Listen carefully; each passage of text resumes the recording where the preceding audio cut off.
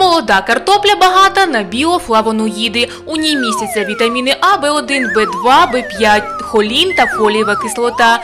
У молодій картоплі вітаміну С втричі більше, ніж в тій, що пережила зиму. Если говорить об умеренном потреблении картофеля как продукте достаточно калорийном, э, можно сказать, что молодой картофель чуть менее калориен, в основном именно за счет большого количества содержания воды.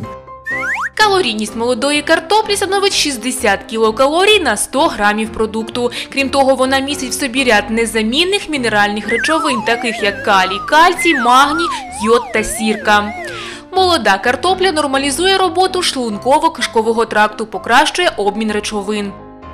То есть крахмал, который содержится в картофеле, он обладает свойством понижения кислотности, поэтому он э, активно рекомендуется при гиперацидных состояниях, то есть при язвенной болезни с повышенной кислотностью желудочного э, сока и при некоторых других состояниях.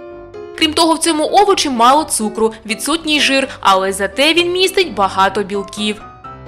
Поэтому э, варите картошку, пеките картошку, старайтесь это делать бе- не очищая ее от кожуры, и тогда те замечательные свойства картофеля, о которых мы знаем, э, это и витамины, и, конечно же, калий, который в большом количестве содержится в картофеле, будет э, в вашем организме в нужном количестве.